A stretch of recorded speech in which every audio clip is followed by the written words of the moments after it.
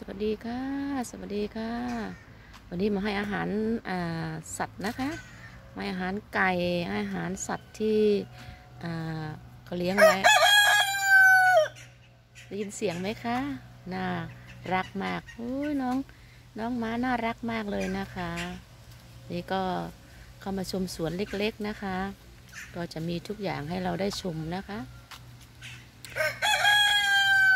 นี่ คือบรรยากาศช่วงเช้านะคะ นี่คือบรรยากาศช่วงเช้า เราก็ให้อาหารไปเรียบร้อยแล้วนะคะ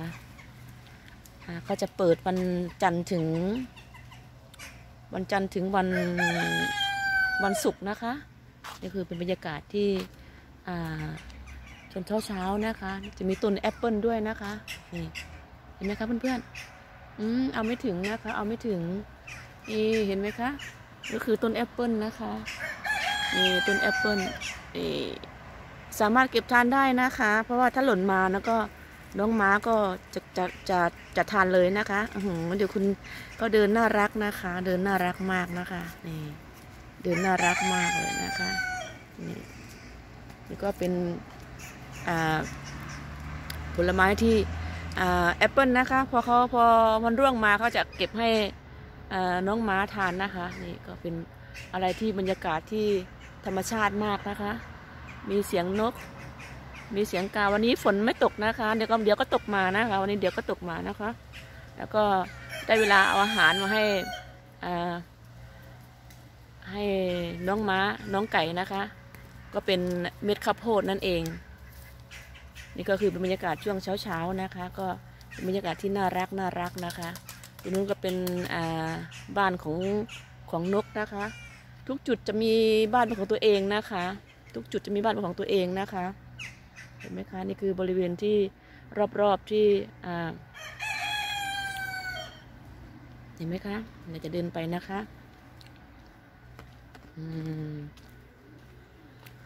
ดูน้องหานเยอะแยะเลยนะคะ สวยงามมากนะคะ นี่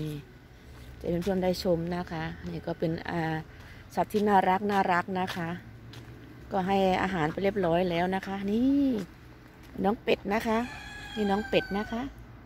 น้องเป็ดน้องหานนะคะ นี่น่ารักมาก เป็นธรรมชาตินะคะ ตื่นเช้ามาแล้วก็ได้มาให้อาหารสัตว์นะคะ นี่ก็เป็นอะไรที่สวยสดงดงามของเราที่เราชอบนั่นเองนะคะ นี่ก็เป็นบรรยากาศช่วงเช้าๆนะคะ นี่ก็น้องเป็ดน้องหานเขาจะมาปล่อยไว้นะคะ นอนที่นี่แหละ เห็นไหมคะ เป็นบรรยากาศที่สวยงามนะคะ บรรยากาศที่สวยงามมากนะคะ เห็นไหมคะ นี่ให้ดูๆนะคะ บรรยากาศที่สวยงามจริง ๆนะคะ ตื่นเช้ามาเราได้ให้อาหารสัตว์นะคะ แล้วก็สบายใจนะคะ ก็จะมีที่ให้อาหารเรียบร้อยนะคะ ดูเขานะคะ มีความสวยงามของของน้องหานนะคะ เนี่ย ใครเห็นก็ต้องอิจฉานะคะ อตื่นเช้ามาก็มีคนเอาของมาให้ทานแล้วดูความสวยงามเป็นตัวผู้นะคะคิดว่าเป็นตัวผู้นะคะ เห็นไหมคะ สวยงามมากนี่ก็เป็นวิวธรรมชาติที่หาได้หาได้ยากนะคะ ที่อยู่ในตัวเมืองนะคะ แต่ที่ตรงนี้เขาก็าทำเป็นที่ให้เด็กพิการได้คอยมาดูแลนะคะ คือเหมันกับว่าให้อยู่ในตัว รงการของเด็กที่ว่าไม่ค่อยสบายนะคะ ดูบรรยากาศสวยงามมากนะคะ นี่คือทุกคนก็จะมีมีบ้านเป็นของตัวเองนะคะ เห็นไหมคะ นี่นี่ก็คือเป็นบ้านของของน้องหานน้องเป็ดนะคะเห็นไหมคะนี่ก็จะเป็นบ้านของน้องหานน้องเป็ดนะคะ นี่ก็ประมาณนี้นะคะนี่ก็เป็นบ้านแล้วก็อาจจะมีอาหารให้ทุกอย่างเรียบร้อยนะคะ นี่ก็เป็นบ้านนะคะ สามารถพักกลางร้อนมีน้ำมีอะไรให้เรียบร้อย มีที่แบบสบายๆนะคะ นี่ก็ประมาณนี้นะคะ อยู่ไม่ห่างไกลจากบ้านนะคะ ประมาณเดินประมาณก็ห้านาทีถึงนะคะ นี่ก็เป็นโซนในหมู่บ้านอยู่แล้วนะคะ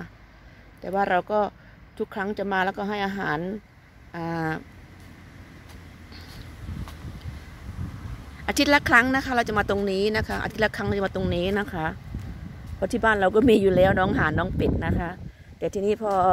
อเราก็มีอาหารเหลือเราก็จะมาตรงนี้นะคะสามารถเดินเดินรอบได้นะคะก็จะเดินมาโซนนี้นะคะโอ้โหแอปเปิลสวยมากเลยแอปเปิลสวยมากเลยอ๋อแอปเปิลเห็นไหมคะลูกแอปเปิลไหมคะแอปเปิลสวยมากเลยนี่แอปเปิลแอปเปิล